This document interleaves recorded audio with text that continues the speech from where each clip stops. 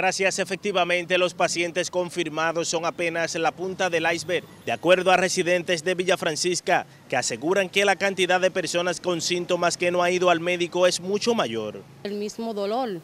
Y nada se para, no se para, no se para y es abundante, es a cada rato que voy, cada, cada cinco minutos voy al baño igual que el hijo mío.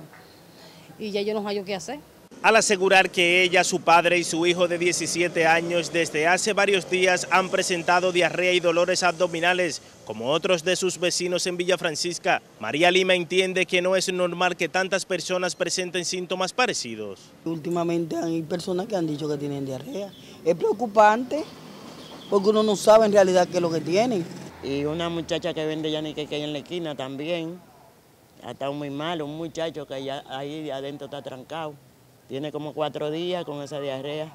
Ante el temor de que se propague el cólera en el barrio, los ciudadanos piden a las autoridades desplegar brigadistas con el fin de identificar las causas y posibles contagios. Ruth Cayetano, quien reside en el ensanche Luperón, donde varias personas también han dado positivo al cólera, aseguró que desde que su esposo fue dado alta del hospital Félix María Goico, donde fue atendido por la bacteria, dice que ha redoblado el cuidado de los alimentos en su casa. Él lo tenían en una silla de ruedas, pero lo atendieron bien, porque no había cama. No, supuestamente di que fue que él se comió una fritura en la calle.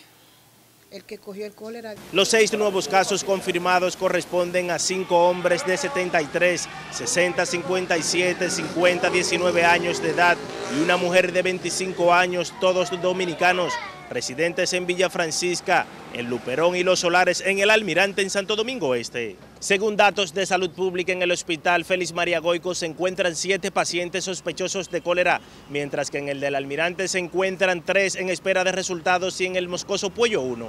Esa es la información que tengo hasta este momento. Retorno con ustedes a los estudios.